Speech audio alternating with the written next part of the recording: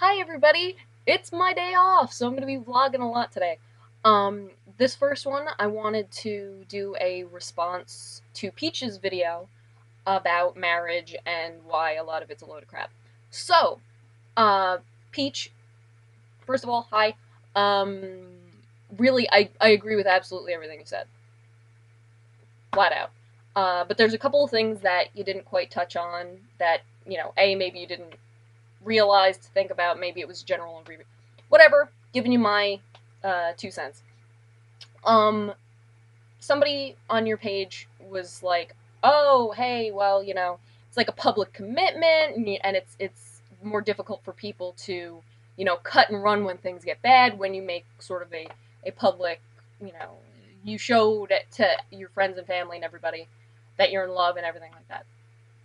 Why do you need to do that? Is is my first, and I commented back on on that, and it's like, why do you need?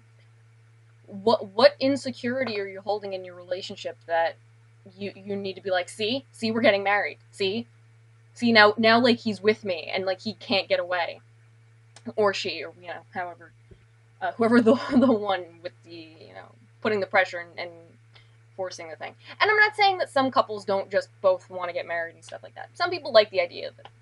And it's fine for people who do.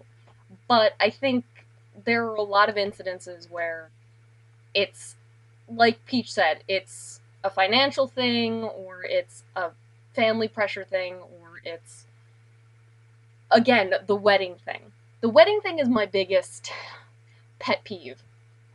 I think it's it's utterly obnoxious and it's it's become something that I as a female am starting to be really offended by.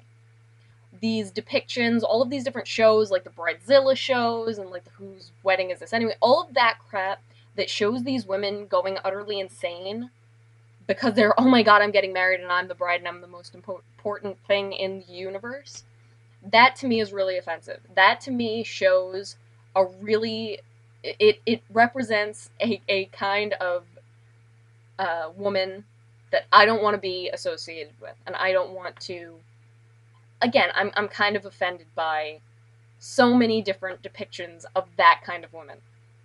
Um, you have the stupid bride bride wars movie with stupid Anne Hathaway and and Goldie Hawn's daughter. Um, that that's so gross that's so like I can't I I don't know any other way to say it than it's just it's really disgusting. Uh, when people are like that, and it's like, oh, ha ha, see, they're fighting over dresses and things. Aren't those girls crazy? And it's like, mm, that's so ridiculous. That's such a ridiculous. so anyway, um, a couple of like really kind of specific things. Apparently, there's been a lot of weddings in and around my family lately and it there are little things that I maybe wasn't quite aware of. Been to a couple of family weddings, but there there is a lot of wedding etiquette that I just I guess wasn't aware of. I was over um, my aunt's house, and so it was like me and my mother, my grandmother, my aunt, my cousins, big group of women, big bucket of estrogen kind of thing and they were talking about having received a save the date for somebody's wedding. And I wasn't aware what a save the date was.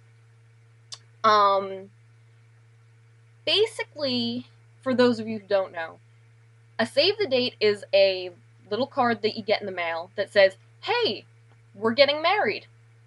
Save the date. It's not an invitation, though. It is not the invitation to the wedding.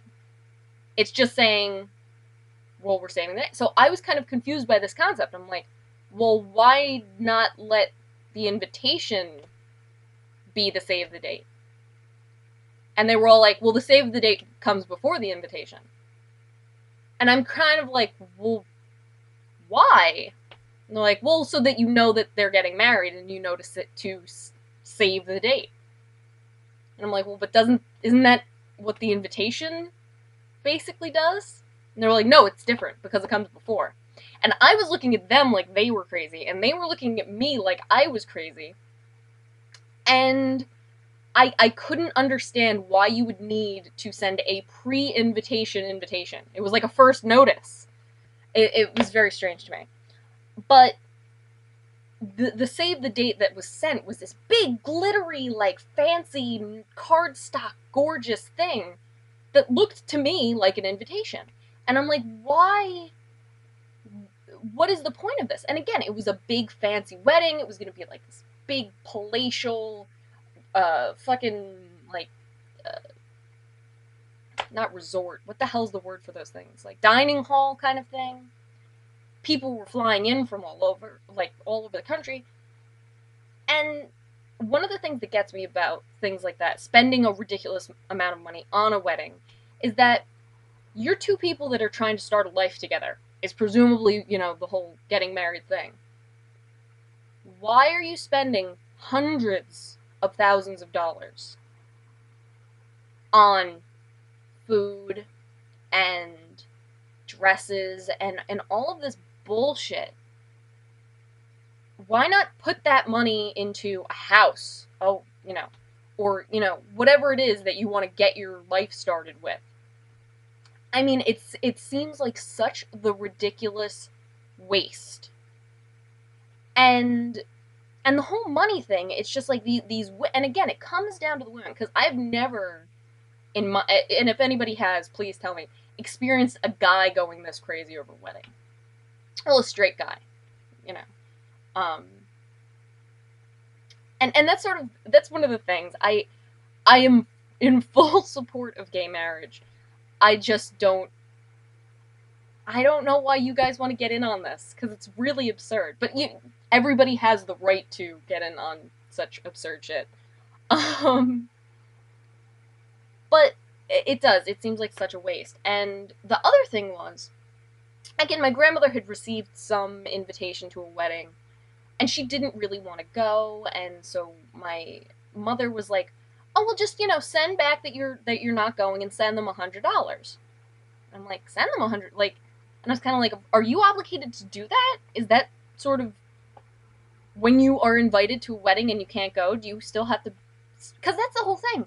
It's it's the gifts it's spending hundreds of dollars on buying people wedding gifts. And not just wedding gifts, but like, you know, uh, the, the bride gets a bridal shower and she gets all the things that she needs and blah, blah, blah, blah, blah. Which I could sort of understand. Again, I think a lot of this is just terribly, terribly antiquated because of the fact that, like, I understand that back in the day, again, when people, two people were starting a life together, um, they were usually both coming out of their parents' house for the first time and, and, and all of that kind of crap. So they didn't have their own appliances. They didn't have their their dishes and they didn't have all of those little things that you sort of need when you're first getting out on your own. But now most people own their own fucking blender if they wanted a blender. You know, people own those things already. People that most of the time now, people are going into the the marriage with two sets of everything. So I think I don't know, it just seems it seems like a lot of bullshit and a lot of waste of money. Um I'm almost up to 10 minutes at this point, and there's so much more that I want to say on this topic, but those are my thoughts for now. I'm gonna post this as a response. I'll post Peach's video in in my description and everything. Uh, and so there you go. So please, uh, let me let me know what you guys thinks and junk. Um, I'm gonna try to do a couple more videos today, and we'll see how everything goes.